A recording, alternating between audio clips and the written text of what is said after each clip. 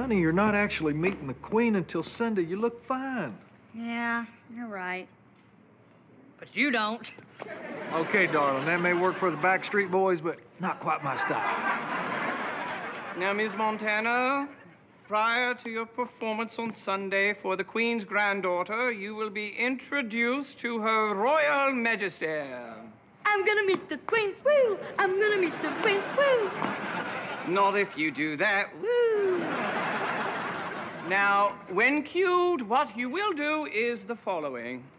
Right foot behind left heel, knees bent, curtsy, and say, Hello, Your Majesty. Hello, your majesty! No, no, no, lower. Hello, your majesty! No, I meant get lower. Oh, hello, your majesty! I'm talking about the curtsy. Hello? Hey, Ma. Yeah, look, we're right in the middle of rehearsing to meet the Queen. Can I? No, no, no, no, not Latifah. Hey, Simon, when I met that queen, all I had to rehearse was, What's up, girlfriend? You get it?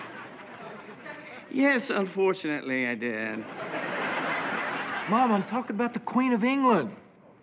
Yeah. Look, I'm kind of busy right now, so can we?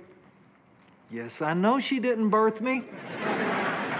Mamaw means well. It's just when things don't go just the way she likes them, she can be a royal pain.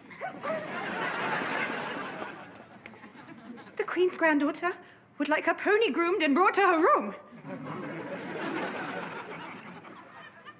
Trust me, there's no royal pain like the royal pain. Gwendolyn, I'll been eating a bucket of sudsies and my pony sponge. He thinks he's got problems.